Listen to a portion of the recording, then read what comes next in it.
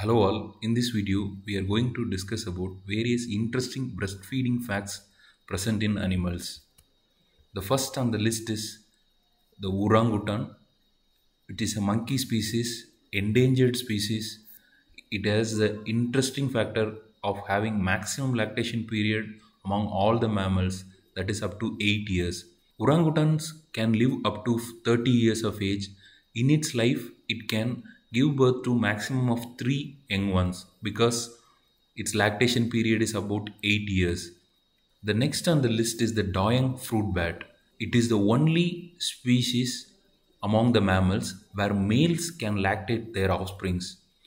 Immediately after the birth of the offsprings, the male Dayak fruit bat starts eating estrogen containing leaves. Males produces breast milk for their offsprings. The next on the list is the hooded seal. This is a seal variety. The name hooded seal is derived from the inflated lips present here. The interesting fact about lactation in this mammal is that it has the lowest lactation period of about 4 days and it has the highest fat content of 68%. This is because this hooded seal cannot carry its young ones all along in sea so it will deliver the maximum energy containing milk within the 4 days immediately after the delivery.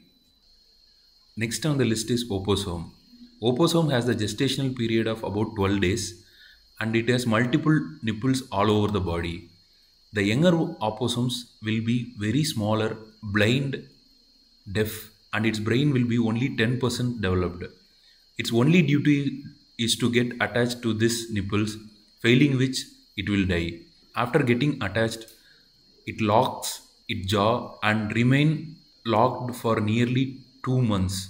During these 2 months, it grows by 35 times than the birth weight.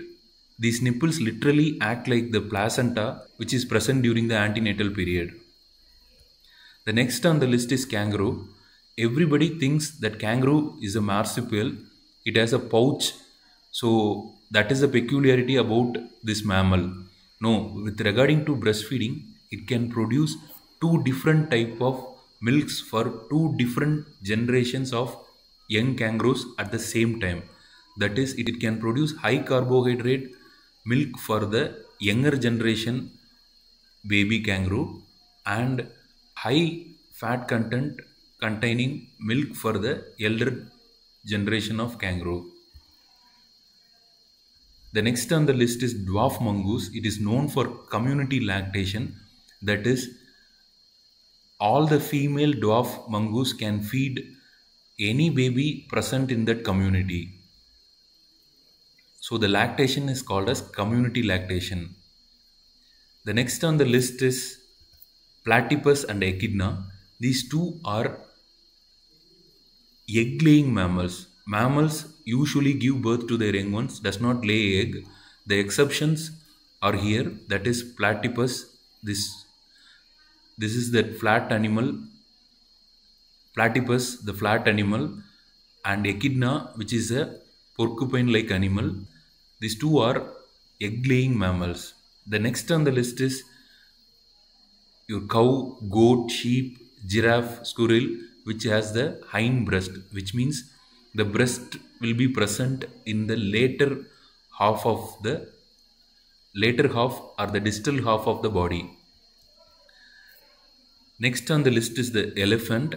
Elephant has the armpit breast. That is the uh, breast is present in the axilla region. The peculiarity about the elephant breast is it is present in the armpit the last in the list is the human species the only species known for bottle feeding probably all the animals have understood that breast milk is the best milk and the fact is yet to be understood by humans. Thank you very much for, for watching this video.